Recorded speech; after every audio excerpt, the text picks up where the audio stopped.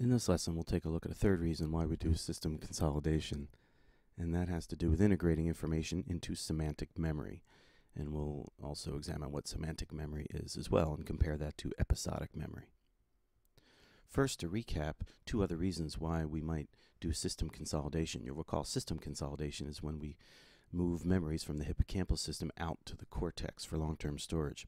And the first reason had to do with interference uh, by new learning. So here we have an animal, we've induced LTP at uh, some hippocampal synapses. We stimulate high frequency action potentials enough to drive the target cell. So the conditions are met, LTP will occur at that synapse. And here it's represented by the larger terminal there, but it could be more receptors on the target cell, etc. Um, but then, right after inducing LTP, we allow the animal to learn something new. It explores a new environment, for example. If then we go ahead and assess the strength of that synapse again, we find a reduced magnitude of synaptic uh, communication there, so reduced LTP. It's and compared to animals that don't have a, a learning um, episode here, uh, the ones that do have a learning episode have uh, reduced LTP. So it's as if the learning experience, the new learning experience, has interfered with the previously established LTP. Now, interestingly, that only occurs within a certain time window, and that time window is the time window of LTP. LTP has an early phase and a late phase. The late phase takes about six hours to be established, and we'll call that molecular consolidation, and that requires protein synthesis. Proteins have to be made by the cells so, and then sent out to the synapses that were recently active to strengthen those connections. Well, that takes around six hours. If the new learning happens within that time frame, it can interfere with this late phase of LTP, and that's why we see uh, reduced LTP um, as a result of the interference. If the new learning happens after six hours, then you've given those synapses time to do molecular consolidation. The, the synapses get stronger in a way that they are less vulnerable to new learning. So the first reason was interference by new learning. So you want to move the memories out to the cortex. There are more synapses out here, so they're less vulnerable to interference. The second reason to do system consolidation has to do with another type of interference, and that's neurogenesis. In the hippocampus itself, new neurons are constantly being born, and they uh, mature and they integrate themselves into the hippocampal circuitry. But when they do so, they are interfering with previously established synaptic changes in the hippocampal circuitry, right? So they're going to be sort of wiping clean older memories that were made here in the hippocampus. And so uh, the rate of neurogenesis then uh, sets up a, a time constraint. You you better consolidate memories that were in the hippocampus before um, more new neurons get in here and uh, mess up the circuitry. Right. So in a sense, forgetting happens when neurogenesis outpaces consolidation. If you can consolidate a memory before new neurons can get in there and mess with that uh, memory trace, uh, then you'll be able to remember it. But if the if the new neurons or new learning are interfering with these uh, hippocampal memories, uh, then you may not successfully consolidate the memories out into the cortex. So the two uh, prior reasons for system consolidation had to do with interference in the hippocampus. The third then has to do with this idea of semantic memory. And to understand what semantic memory is, let's take a look at this situation here. All right, so now let's see the third reason why we might do system consolidation. That has to do with integrating new information into semantic memory. First, consider the uh, scenario here. Let's say you go to the zoo and you meet the tiger for the first time. So that's going to be an experience. Your sensory areas, your your visual areas, and auditory areas and touch areas are going to be sending information that converges down in the hippocampus. LTP will be happening at the relevant synapses down here. And then over time, you'll be consolidating that experience. Now, we've been learning about episodic memory. If you consolidate that event, then you'll be able to retrieve that event and remember going to the zoo at some later point in time, right? And we're calling that system consolidation. And the kind of memory that's getting consolidated was an episode, an event memory, an episodic memory. But there's other kinds of information that gets stored there, not just your experience of the event, you also are going to be storing information about the world. For example, the tiger. And so we call facts about the world and the meanings of words, that kind of thing, the concepts that we understand, we're going to call that semantic memory. Now, scientists think it sort of works like this. When the hippocampal system consolidates, not only do you consolidate a, a memory of the zoo event, that's your episodic memory, your brain is also going to be storing information uh, that you experienced about the world, in this case, the tiger. And the way it does so is shown in this diagram. So when you saw the tiger, your visual areas were perceiving the ti- tiger. The visual areas were actively engaged in your perception of the tiger. But during system consolidation, the hippocampal system is going to store the image of the tiger in some of the same areas that are used to visually process the tiger. Likewise, the feel of the tiger will be stored in touch cortex, and the sound of the tiger stored in the uh, auditory association cortex. And furthermore, during system consolidation, these distributed representations will be linked together, right? So that the sight of a tiger can activate what the tiger sounds like in your memory, or the feel of the tiger can can retrieve what the tiger looks like. Now, not only did you see the tiger, hear the tiger, and feel the tiger, you also heard a word. So you were maybe with your parents, and your parents pointed out the animal, and they said tiger, right? They were pointing to it.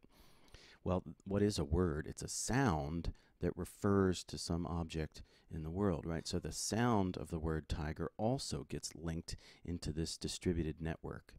So to understand the concept of a tiger, it means that we can pick a tiger out from other animals by seeing it or hearing it. We understand the, the word tiger and what it means. It refers to this animal.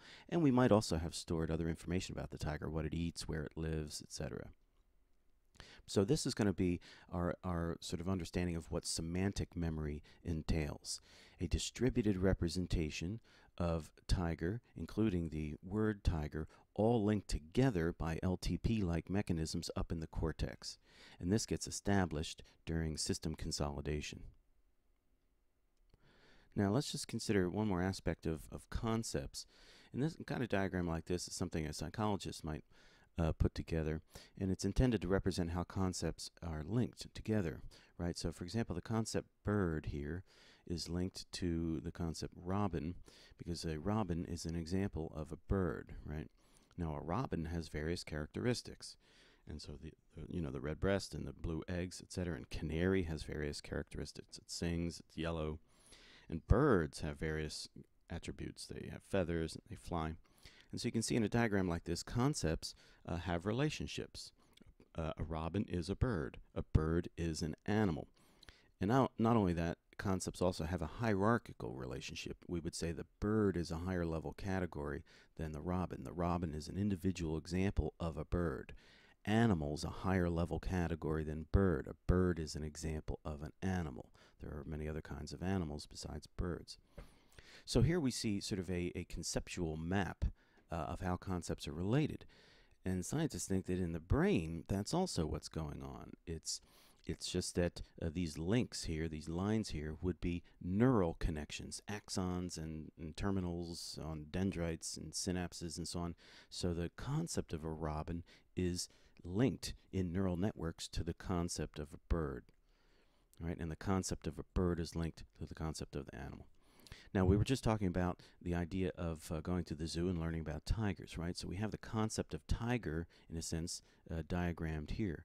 Well, that tiger concept may be linked to other animal concepts as well, right? Uh, and so we're going to, as we experience life, we're going to be installing all kinds of world knowledge in a kind of conceptual map, as indicated here. And now comes the, the, the point about the, the value of system consolidation. Okay, so to see how system consolidation might help to integrate information, let's go back to the zoo. So here we have the tiger experience, and we consolidate not only the event memory, the episodic memory, but we consolidate semantic information about the tiger.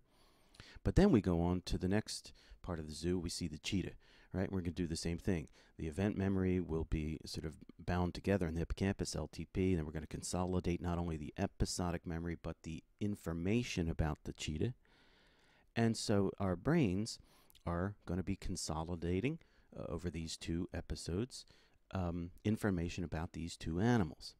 Now, down here, we can see what scientists think is going on when uh, the, the, hippocampal system consolidates up into the cortex. Let's let the uh, red dots be those neural elements, you know, neurons or populations of neurons that are part of the representation of the tiger, right? So up there in the cortex, the red ones would be some of those neural populations that are where um, uh, synapses will be changing, molecular consolidation happening to store information about tiger, maybe the visual image of a tiger. The blue ones will be uh, the neural ele elements involved in storing the cheetah information, maybe the visual image of a cheetah.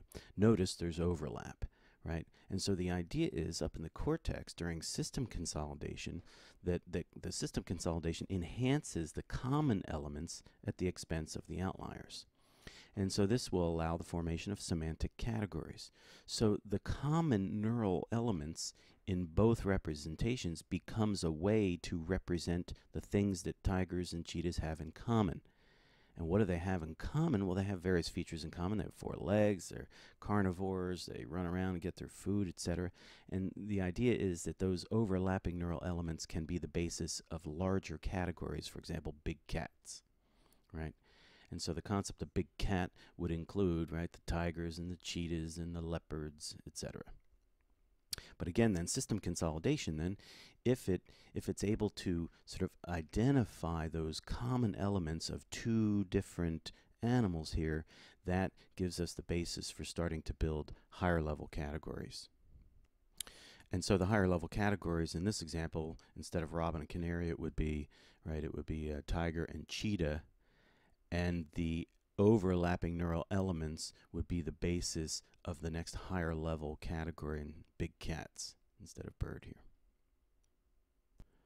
Okay, finally then we can we can compare and contrast uh, the the concepts of episodic memory and semantic memory and we'll use a diagram like this. Notice there are two words up here to remember something and to know something. First let's let's see what we mean by remembering something. And notice there are two boxes here, semantic, the box that indicates semantic memory, and then the episodic uh, box down here. This is the hippocampal episodic sort of memory system. Um, so in a diagram like this, here's the idea that we might uh, have uh, individual memories of meeting a certain person, right? And then as we interact with that person, we're going to learn different things about that person. So for example, um, we might learn because we've hung out with a person that they like uh, they like to paint, they like barbecues, uh, they love somebody, and they like to golf, etc. Well, we can retain not only the memories of our interactions of that person, but through the consolidation process, we're also going to be storing up in semantic memory just facts about that particular person, right? So we can have two kinds of memory about that person. We can have actual uh, recollections, uh, episodic memories, all the times that we went to the barbecue with that person and painted with them and went golfing. But then we can also have stored in our semantic memory just facts about the person. And we, we say that we can remember something if we have access to those episodic uh, events, episodic memories. In contrast, when we say we know something about a person, here's a person up in our semantic memory, and here we know that they like barbecues, they cycle, they swim, they love somebody. But notice the episodic box is empty. So in this diagram, what we mean by we know uh, things about a person is that we have semantic information stored in our cortex, but we do not have any episodic memories. In other words, we don't remember the time that we went swimming with this person, and so we learned that the person likes swimming. We don't remember the time that we went to the barbecue, and so we know that this person likes bar- likes uh, barbecues. So in this diagram, then the, the the empty box here represents the uh, the common state of affairs where we do not remember the learning episode, but what we do retain is the information, and we call that semantic memory and this is very common. We learn a whole lot of th- things about the world that we store in semantic memory, but we lose the episodic memories of those learning events. System consolidation has stored lots of information in our semantic memory, but we evidently uh, lose access or never consolidate uh, the episodes um, for which we, we learned different things about the world. Now, interestingly, these people with superior autobiographical memory, they are precisely the people that retain those episodes, right, in their memory. So they do consolidate the day to day events in their lives in ways that we don't. They have semantic memory just like we do, but unlike us, they retain the episodic memories of the sort of experiences that lead to semantic memories um, during system consolidation.